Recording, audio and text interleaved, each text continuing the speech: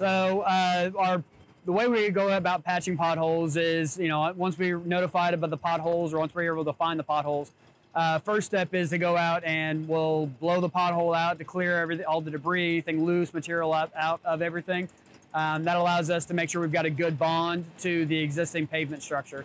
Uh, once that's done, we'll spray in a, a tack oil, which is kind of just kind of an uh, emulsifier that helps helps that bond process. And then we put in hot mix asphalt, uh, pack everything down, and take a roller and roll it back down so it's at grade and smooth. Uh, depending on the size and the the number of potholes and how close they are together, uh, we generally will patch anywhere between like 20 and 120 potholes in a day. Uh, well, there's there's two ways that they can um, notify the city about it. So we have the pothole hotline, which is 816 325 7624. And we have an app, uh, the InDep Now app, which can be downloaded on the uh, Apple or, or Android uh, Play stores. Um, and they can enter, uh, enter in that through, through there.